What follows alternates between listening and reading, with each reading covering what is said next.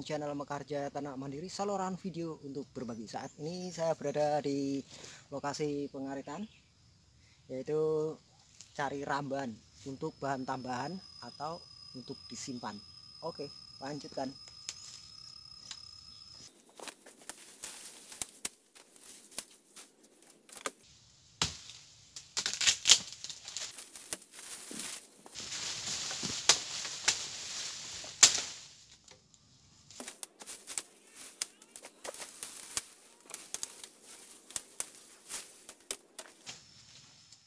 Saudara dan kawan-kawan semuanya. Inilah yang saya katakan di Lampung Timur eh, pakan melimpah. Nah ini daun singkong karet ini tumbuh liar bahan tanaman teman-teman. Yang saya manfaatkan untuk saya ambil untuk jadi pakan ternak. Daunnya rimbun sekali